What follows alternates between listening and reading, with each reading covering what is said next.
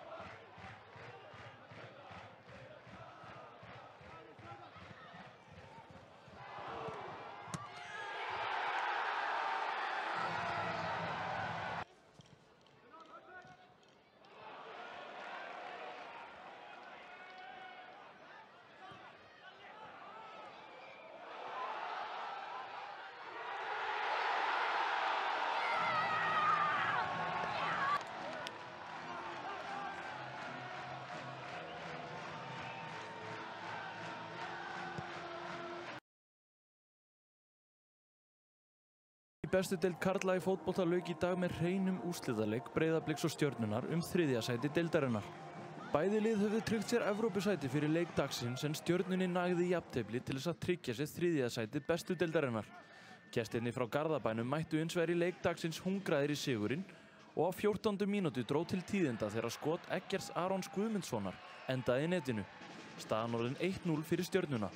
Reyndist það eina mark fyrir en á 50.50 mínútu gerðist þetta. Leikin halda Eggert Aron, þetta er frábælega gert hjá honum, þið þessa, snill takk fyrir Eggert Aron.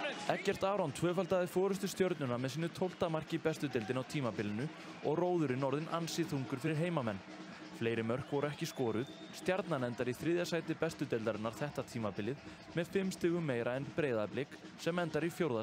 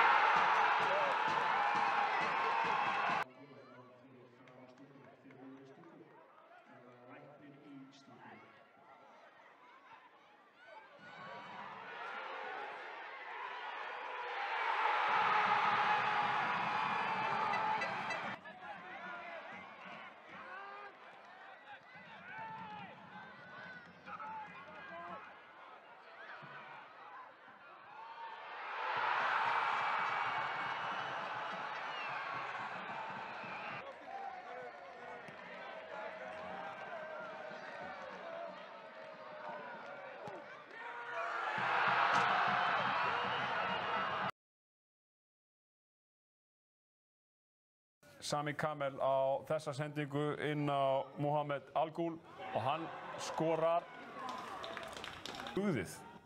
Já, ég held að það hljóta að vera. En uh, hér sjáum við þegar þeir fá svo vítaspyrnu. Þetta er eftir uh, já, tæplega 70 mínútnar leik sem hér Áskjör Óra Markmann koma út um markinu og eh, Helgi Mikael eh, bendir á punktinn. Það var Eiður Aron sem að skoraði einnig gegn Háká úr víti í eh, síðustu umferð sem að skora að að eh, Háká var í heimsókn eftir að hafa verið fyrir ofan strik eins og sagt er verið í efri hluta deildarnar svona mitt sumar. Þá uh, voru þeir skyndilega búin að sogast ofan í uh, fallbarður og þá sáum við Artur Ara í færi um tíu mínutum síðar káamenn sem skora Harley Villard sem hefur verið yfir með